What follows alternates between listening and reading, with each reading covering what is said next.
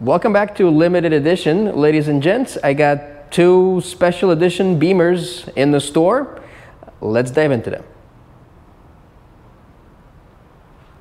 Well, ladies and gentlemen, um, I got a couple of new BMWs here, uh, two M3s, and uh, both of these are um, special editions.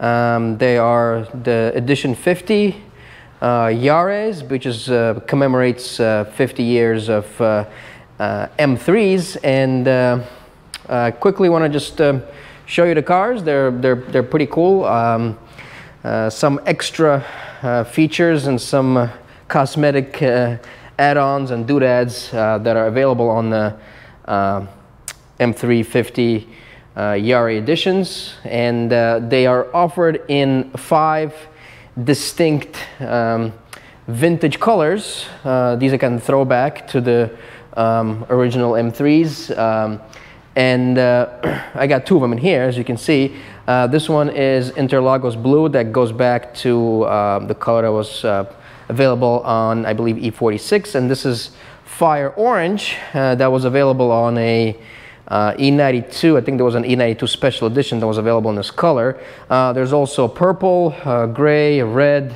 Uh, red is like commemorative of the E E30, which was the original uh, M3. And these are these are only cosmetic modifications. They're not really, there's no performance add-ons or suspension modifications, etc., etc. So basically what this is, these are all uh, competition series uh, M3s, um, you know, all-wheel drive, uh, with all options as standard, and the only two options that are available on these are the carbon ceramic brakes and uh, racing seats. Uh, neither, of these, neither of those cars have those options, uh, but um, the racing seats are uh, really, really basically like a park bench. So they're, if you're gonna track the car, I recommend them. If you're gonna daily the car, I don't think it's a good option. So Fire Orange. This, this, this one is brand new, brand new, 17 miles.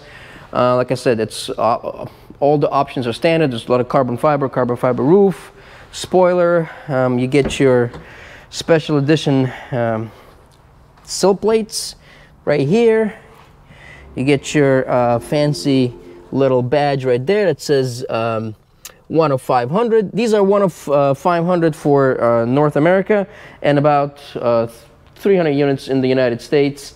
Um, uh, it's not available in Europe for some reason. It's only for North America. I don't know why, but that's uh, you know that's the case. So, um, uh, like I said, they're fully loaded. So this one doesn't have the carbon seats, which are pretty much like I said, park bench, and this one doesn't have the carbon ceramic brakes. Again, really a racetrack feature. But 23s uh, uh, have a um, upgraded infotainment system. You know this uh, screen and all that, uh, you know, all that stuff that kids like these days. Um, but uh, that's your Fire Orange. Nothing really uh, in terms of performance. So you get the, you know, the old school badges. Uh, and this is the uh, Interlagos Blue. Um, same thing, carbon fiber. It doesn't have carbon ceramic brakes, doesn't have racing seats, but they're all the same color as far as interior goes. Um, this one actually has the the rubber mats, which were an add-on. And uh, here's your badge. And oh yeah, they also come with the with a fancy suitcase. So let's see. Let me try to get. There we go. It's a power trunk. And you get your 50th edition suitcase so you can roll in style and uh, somewhat of controversial design to the front end, obviously, with the, with the new BMWs. I have to be honest that uh, when I first saw this design come out, when I first saw it in pictures, um, I was kind of skeptical about it, and I know a lot of people, it's kind of a hit or miss, but uh, let, let, me tell you, um, it looks a lot better in person than it does in pictures for some reason. I don't know why, and uh, it looks a lot better on a darker colored car versus uh, something that's uh, a little bit lighter where it stands out more. But um, it doesn't really look that bad in person. It kind of grows on you. Uh, I, I, know it's controversial. I know that BMW has, they keep making these grills bigger and bigger and bigger. Um, but um, that's their, that's the direction that they're going uh, with. And um, you know, these are pretty small cars. You know, like M3 has actually, you know, grown in size over uh, over the years from their uh, you know, original cars, but they're still they're still pretty small cars. They're still pretty nimble. Um, I haven't really driven them. They're, they're delivery mileage cars. This one has a little bit more miles, um, 800 miles. This one's 17, so I'm, I'm not going to drive them.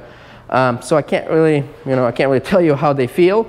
Uh, well, I, I, drove it like from, from, the, from the truck to the, to, to inside the warehouse. So, uh, but I'm, I'm, sure there's, uh, you know, plenty of videos about, uh, you know, M3s and their performance and all that stuff. But um, both of these are available if anybody's interested. Uh, uh, www.lemotorcars.com or my contact information is there. So if anybody wants one of these one of 500s, uh, let me know. Thanks for watching. Peace.